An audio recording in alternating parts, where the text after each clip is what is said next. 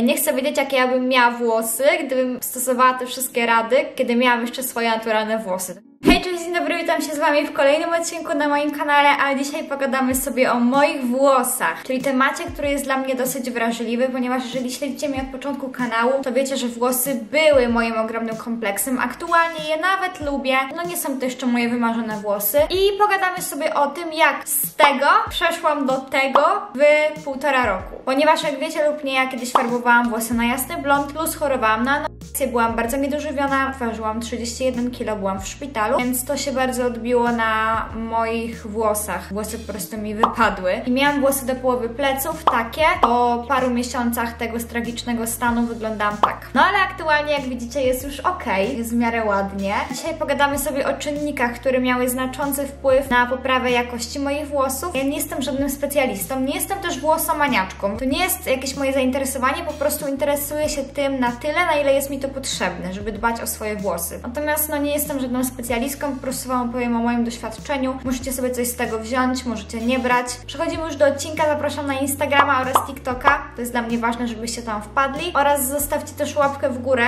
żeby wspierać mój kanał i subskrypcję, bo aż 50% osób, które oglądają, powracających widzów nie subskrybuje. Więc zaczynamy. Przechodzimy do treści. Pierwszy, najważniejszy punkt to jest dobrze zbilansowana dieta i powrót do normowagi. Jeżeli oczywiście wychodzicie z anoreksji, i przez to macie problem z włosami, a jeżeli po prostu macie brzydkie włosy, słabe i to nie jest spowodowane genetyką, bo często po prostu genetycznie tak jest, że mamy takie włosy, no to przede wszystkim zadbać o dietę, żeby była bogata w tłuszcze, takie zdrowe tłuszcze, żeby była dobrze zbilansowana kalorycznie. Jak będziecie się głodzić, to włosy nie będą rosły silniejsze, to jest logiczne. Druga sprawa jest taka, żebyście poznali, jaki macie typ włosa, czy niskoporowate, czy średnio, czy wysokoporowate. No i też warto wiedzieć na przykład, czy wasze włosy mają tendencję do kręcenia się. Ja jako dziecko miałam kręcone włosy, tutaj macie zdjęcie. Nie były takie sprężynki, ale były kręcone. No i aktualnie przez to, że te końcówki, bo w ogóle ja nie farbuję włosów już od roku, ale moje naturalne włosy są, nie wiem, dotąd. Ja nie widzę tego, dlatego że ten kolor jest mega dobrze dobrany. Ja tylko raz te blond zafarbowałam i one fajnie złapały kolor i on mi się trzyma. Te końcówki powiedzmy, to jest wszystko blond, po prostu zafarbowane na ciemny kolor. Więc one są, wiadomo, trochę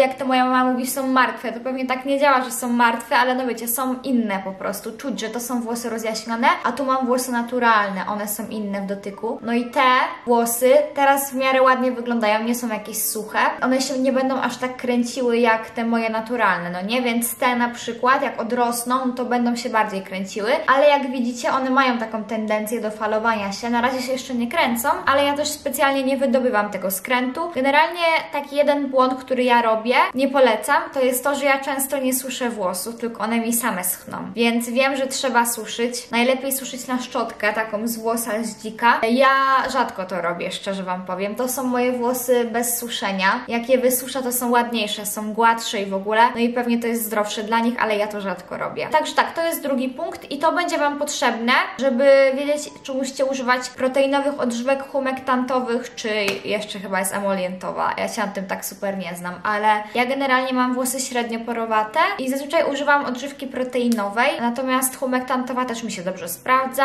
emolientowej nie próbowałam jeszcze. Ale to też tak naprawdę jest indywidualne, bo możecie mieć włosy z tego co ja słyszałam, na przykład wysokoporowate i może Wam się sprawdzać odżywka, która niby z natury jest do włosów średnio porowatych, więc po prostu sobie to testujcie. Będziecie wiedzieli po swoich włosach, kiedy coś lubią, a kiedy czegoś nie lubią, bo ja na przykład teraz dobrałam idealną pielęgnację i są najładniejsze od 3 lat. Kolejna sprawa to ograniczyć do minimum minimum używanie lokówek i prostownic czy tam karbownicy, bo no to niszczy włosy, a jeżeli już musicie, to się zaopatrzcie w taki spray, który ochroni Wam włosy przed tym ciepłem. Tak samo są takie spraye przed takim słońcem mocnym, więc na lato spoko albo na wakacje. Używanie takich gumek, pokażę Wam. Mamy różne gumki i na przykład taka najbardziej klasyczna, no to są takie gumeczki, prawda? No to one nie są najlepsze dla włosów, bo się jakby tak wbijają. Wiecie, często jest tak, że robicie kiftkę i zostaje zostaje taki ślad od tej gumki. Ja polecam po prostu takie materiałowe gumki, one bardzo ładnie wyglądają i nie niszczą tak włosów. Wszędzie je dostaniecie, nawet w internecie, tam w Rossmanie. No i teraz jak chodzi o mycie włosów. Przede wszystkim nie wycierajcie ich tak,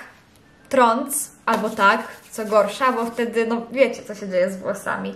Ja kiedyś tak robiłam, jak byłam młodsza, ale to, to nie jest dobre dla włosów. A i tak miałam zajebiste włosy. Ja nie chcę wiedzieć, jakie ja bym miała włosy, gdybym stosowała te wszystkie rady, kiedy miałam jeszcze swoje naturalne włosy. To chyba bym miała tafle po prostu. Patrzcie, tak wyglądają moje włosy, gdzie codziennie używałam prostownicy i w ogóle ich nie szanowałam. Nawet odżywki często nie używałam. No, więc właśnie nie używajcie ręczników raczej, tylko bawełnianych koszulek. I bardziej tak odciskajcie włosy i odsączajcie je, a nie tak. Chodzi o mycie głowy, no to to już według Waszej preferencji. Ja na przykład myję dwa razy w tygodniu, zazwyczaj co 2-3 dni. Dobra, jeszcze kolejna sprawa jest taka, żebyście używali szczotki z włosem z dzika. Dużo osób poleca te z Olivia Garden. Ja mam taką z Rossmana, drewnianą, z włosem z dzika. I musicie mi napisać, czy ona jest dobra. Ja słyszałam, że jest dobra i ja widzę różnicę, odkąd jej używam. Nie używam Tangle Teasera już z rok, bo on mi tak szarpał włosy, nie polecam generalnie. No dobra, więc mamy już takie główne rzeczy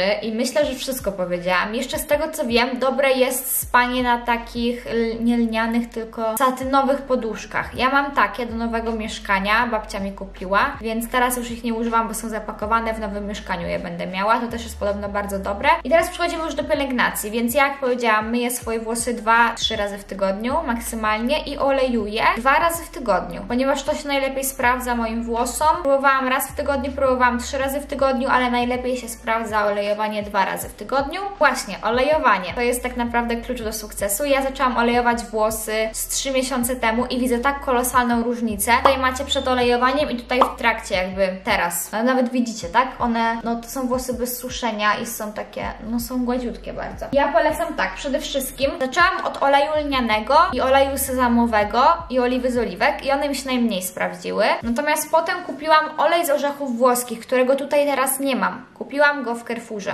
i bardzo go polecam. Ten olej sprawdza mi się najlepiej ze wszystkich. Kolejny olej, którego używałam ostatnio, więc to jest po nim efekt, to jest olej z pestek Morelli. Po prostu to są oleje spożywcze. Ja je kupiłam w sklepie bio, w sensie ten akurat w sklepie bio i on się też bardzo dobrze sprawdza, tak samo jak ten z orzechów yy, włoskich. Bardzo jestem z niego zadowolona. I ostatni, który mi się też równie dobrze sprawdza, ale trochę gorzej niż te dwa, to jest olej z migdałów. Też jest tłoczony na zimno i jest wzbogacony o witaminę A i jego można kupić w Rossmanie. Także bardzo je polecam. I jak nakładamy olej, głównie się skupiamy od tego momentu, a resztkami też nakładamy na górę. Ja przynajmniej tak robię. Można na mokro, można na sucho, tylko wiadomo, że jak na mokro, no to nie na takie ociekające włosy, tylko raczej wilgotne. No i ten olej, ja trzymam go parę godzin. Nie, nie nakładam go na noc, bo nie śpię z mokrymi włosami. To też jest ważne. Nie śpijcie z mokrymi włosami, bo to nie jest dobre dla nich. Ten olej właśnie trzymam parę godzin. Zazwyczaj nakładam około 16 i myję włosy koło 21. I zemulgowuję go, nie wiem jak to się mówi do konkretnie. Emulguję po prostu. Wiecie, zmywam go odżywką. Ja mam po prostu taką odżywkę z Alterry, tak wygląda. W możecie kupić. Ona kosztuje chyba 12 zł. I ja po prostu ją używam, bo jest tania i mam z tej samej serii szampon i szampon mi się bardzo dobrze sprawdza. I tą odżywką po prostu myję włosy, tak jakbym używała szamponu. Więc ja używam tej odżywki, żeby zmyć olej i potem normalnie myję włosy, czyli myję skórę głowy szamponem. Używam, używam szamponu z tej samej serii z Alterry i myję skórę głowy i spukuję. Zazwyczaj do mycia używam takiej średniej wody, a na końcu takiej trochę zimniejszej. Więc mamy umytą głowę, mamy oleje i razem z olejem nakładam wcierkę do włosów. Zaczęłam używać wcierek z dwa miesiące temu, półtora miesiąca temu i również widzę dużą różnicę. Nie polecam Wam tej wcierki. To jest wcierka z Only Bio i ona bardzo śmierdzi jak żygi. To nie jest w ogóle film sponsorowany, bo mam dużo kosmetyków z Only Bio i możecie pomyśleć, że to jest film sponsorowany, ale nie jest. Aha, i ważne, nie polecam używać olejów albo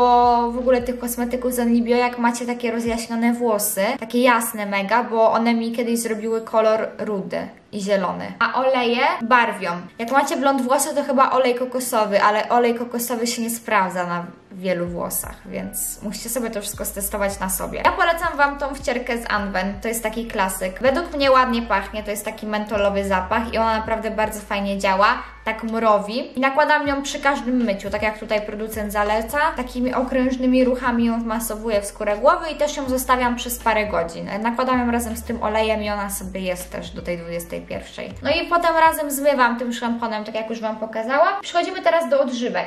Raz w tygodniu używam maski. To jest taka maska z Only Bio. Do włosów średnio porwatych ona jest chyba. Tak. Ona się bardzo fajnie sprawdza, bardzo ją lubię. I mam dwie odżywki, których używam naprzemiennie. I pierwsza to jest odżywka domykająca łuskę włosa, również z Only Bio i ona jest zajebista. Po niej mam najładniejsze włosy. A druga to jest odżywka proteinowa. Próbowałam jeszcze humektantową, ale proteinowa mi się zdecydowanie lepiej sprawdza. Jak już umyję włosy i odsączę je koszulką, przeczeszę grzebieniem z tymi grubymi ząbkami, to nakładam jeszcze odżywkę bez spłukiwania z Onlibio. Olejek na końcówki. To jest nowe opakowanie, bo mam stare w łazience. To jest ten olejek z Onlibio, taki zabezpieczający końcówki. Bardzo ładnie pachną w ogóle te kosmetyki. Potem włosy pachną przez parę dni. I olejek z Olaplexu, któremu jestem wierna od 4 lat. Także to jest ta odżywka bez spłukiwania, również z Onlibio i przyniosłam jeszcze ten spray ochrona przed UV. Tak wygląda. Również z Onlibio. Te kosmetyki przepięknie pachną, aż sobie pściknę tutaj. Mm, melonowy zapach, cudne są. I przyniosłam Wam szczotkę, muszę ją w ogóle wyczyścić, bo nie jest za ładna. To jest ta szczotka z Rossmana.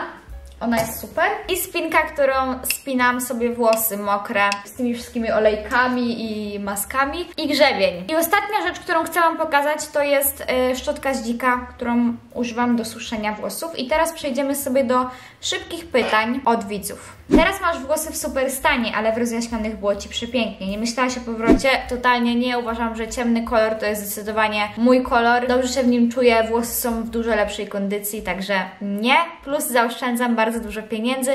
Teraz chcę mieć naturalne włosy, więc schodzę powoli. A, i najważniejsza rzecz. Regularne podcinanie końcówek. To jest bardzo ważne. Ja chodzę tak raz na 4 miesiące, do pół roku, żeby podciąć, maksymalnie pół roku. Ostatnio byłam w lutym i właśnie idę teraz jestem zapisana, bo nie było wcześniej terminów. I podcinam je na półokrągło, na równo, nie cieniuję ani nic. Masz zamiar farbować? Nie, nie mam zamiaru farbować. Jeżeli kiedyś mi przyjdzie coś takiego do głowy, to proszę mnie walnąć w łeb patelnią. Ciemię lniane na włosy? Słyszałam o tym, ale nie próbowałam tego, w sensie masek z siemieniem lnianym, natomiast y, picie siemienia lnianego też fajnie działa na włosy. Prowadziłaś jakieś konkretne produkty do swojej diety pomagające odbudować Twoje włosy? Jak zaczęłam rozszerzać dietę i jeść więcej owoców, to moje włosy się poprawiły, natomiast też łosoś zdecydowanie wpłynął na poprawę moich włosów. W sumie chyba tyle. To nic nowego nie wprowadzałam, bo jakby moja dieta była od początku, wiecie, bogata w różne takie mikroskładniki, mikroelementy, tłuszcze i w ogóle. Ja nie jem jakoś mega tłusto, ale no jem jakieś tam masło orzechowe,